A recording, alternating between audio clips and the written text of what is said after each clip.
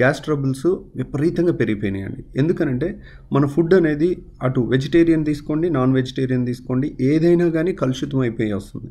మీరు non veg తీ చూడాలి తీ ఎంత ఎలా ఉంటుందంటే నాన్ వెజ్ ఫామ్స్కి వెళ్ళి చూడాలి మీరు. అక్కడ ఏమేం జరుగుతుందనేది. వెజిటేరియన్లో కూడా తక్కువేం కాదండి. వెజిటేరియన్లో కూడా విపరీతమైన పెస్టిసైడ్స్ అవి ఇవి కూడా ఒక్కోసారి చేస్తున్నారు. అవన్నీ మనం చూడలేము దాన్ని కొలవలేము. కాబట్టి దానివల్ల చాలామందికి గ్యాస్ ట్రబుల్స్ పెరిగిపోయినాయి. గ్యాస్ ట్రబుల్ పెరిగిపోయి పొట్టలో ఛాతీలో మంట వచ్చిన వెంటనే నొప్పి వచ్చిన వెంటనే గ్యాస్ట్రో కార్డియాక్ సిండ్రోమ్ అని ఉంటుంది. పేగులకి గుండెకి దగ్గర సంబంధం ఉంటుంది అనమాట రెండింటికి ఒకే నరు వేగస్ నరు సప్లై చేస్తుంది. దానివల్ల అక్కడికి తేడా ఉన్న ఇక్కడ వచ్చి వాళ్ళందరూ ఆందోళనతో వణికిపోతా ఉన్నారు. అమ్మో నేను కూడా సిద్ధార్థ శుక్లా లాగా అయిపోతానేమో లేదంటే పునీత్ రాజ్ కుమార్ లాగా సడన్గా చచ్చిపోతానేమో లేదంటే ఆ, షేన్ వార్ లాగా చచ్చిపోతానేమో నాకు ఇంకా చాలా బాధ్యతలు ఉన్నాయి అనే ఒక రకమైన నిద్ర పట్టకుండా టెన్షన్ ఆందోళనలో చాలామంది ఉంటున్నారు. దీనికి ఒకటి చూడండి ఒక ఫిట్ మీరు చేయాల్సిందంతా బెస్ట్గా చేయాలి. అంటే డైట్ కానీ ఎక్సర్సైజ్ కానీ మీ ఫుడ్ హ్యాబిట్స్ కానీ స్మోకింగ్ లాంటి అలవాట్లు లేకపోవటం కానీ అన్నీ చూసుకుని మీరంతా చేసిన తర్వాత కూడా ఇలాంటి ప్రకృతి వైపరీత్యాలు అంటారు చూడండి. అంటే యాక్సిడెంట్స్ ఆఫ్ నేచర్ అనమాట అంటే కొన్ని కొన్ని ఇప్పుడు కొన్ని ఎన్ని జీవక్రియలు మన బాడీలో ఇంత పద్ధతిగా అంటే మగవాళ్ళకి మీసాలు రావటం గొంతు మారటం లేడీ లేడీస్కి పీరియడ్స్ రావటం కరెక్ట్గా గంట కొట్టినట్టు పలానా ఏజ్కి రావటం ఇలాంటివన్నీ ఒక అద్భుతమైన ప్రాసెస్లు అనమాట ప్రకృతిలో జరిగాయి. అలాంటి వాటిలో లక్షల్లో కోట్లలో ఒకటి తప్పుగా జరుగుతుంటాయి. పుట్టే బిడ్డలు ఉంటారు అందరూ పర్ఫెక్ట్గా పుడుతుంటారు. కొంతమంది కాళ్ళు చేతులు లేకుండా పుడతారు. కొంతమంది బ్రెయిన్ లేకుండా పుడతారు.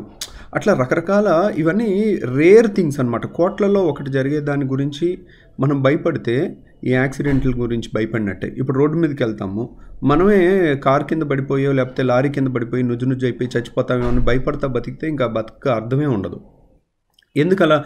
ఎందుకని అలా అంటే కనుక అవి యాక్సిడెంట్స్ దే ఆర్ నాట్ మన మన తప్పిదాల వల్ల వచ్చేవి కావు. ఇంకా అలాంటి వాటికి యాక్సిడెంట్స్కి భయపడితే మనం బతకలేమండి.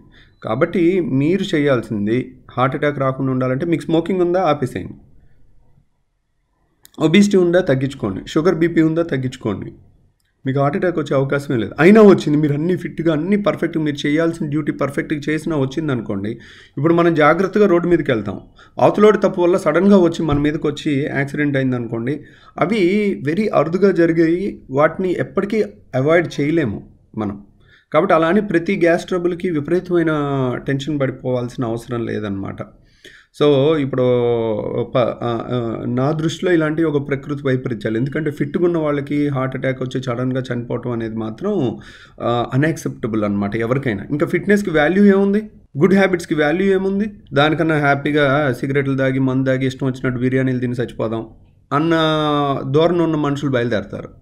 అందుకని ఒక ప్రకృతి వైపున ఒక ఎర్త్ క్వేక్ రావటం ఒక సునామీ రావటమో ఎంత అరుదో ఇలాంటివి యంగ్ అండ్ ఫిట్ ఇండివిజువల్కి హార్ట్ అటాక్ రావటం కూడా అంతే అరుదు.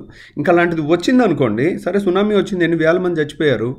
సో అలాంటి ప్రకృతి వైపరీత్యాలకి ఒక్కొక్కసారి అలా జరుగుతుంటాయి. దాన్ని మనం పాజిటివ్గా తీసుకోవాలి కానీ ప్రతిదీ మనకే వస్తుంది అన్న భయం పెట్టుకోవద్దు. అది నే ఇక్కడ పాయింట్ ఏంటంటే నేను చెప్పాలనుకున్న పాయింట్ ఏంటంటే చాలామంది గ్యాస్ ట్రబుల్స్ ఉంటున్నాయి. ఆ గ్యాస్ ట్రబుల్ వాళ్ళందరికీ ఛాతీలో మ- నొప్పి మంట ఉంటుంది. వాళ్ళు నాకు కూడా పునీత్ రాజ్ కుమార్ లాగా అయిపోతుంది. నాకు కూడా సిద్ధార్థ్ శుక్లా లాగా అయిపోతుంది అని భయపడుతున్నారు. ఆ భయపడొద్దు అనేది నేను చెప్పదలుచుకున్న పాయింట్ మీరు చేయాల్సినవి మాత్రం మీరు చేయాలి. Okay? Thank you very much